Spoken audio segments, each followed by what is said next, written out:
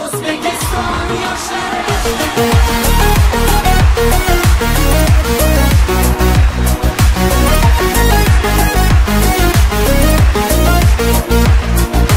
yoshmiz dilimizda ezgu ahd bo'lgay har yurakda shiddat. Bo'lgay shaxt bo'lgay yoshmiz dilimizda. Ezgu ahd bo'lgay har yurakda shiddat. Bo'lgay shaxt bo'lgay yurtboshimiz ko'rsatgan yorug' yo'lda. Manzilgacha yo'lda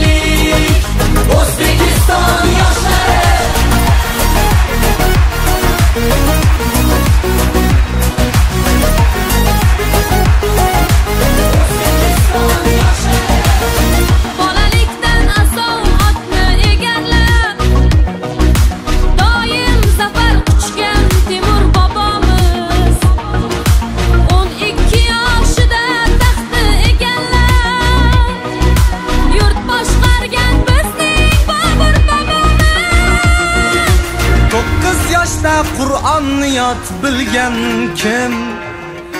Eng ulug' muhaddis buxoriy bobom yetti yoshida mantiq o'ttayirni yod olgan kim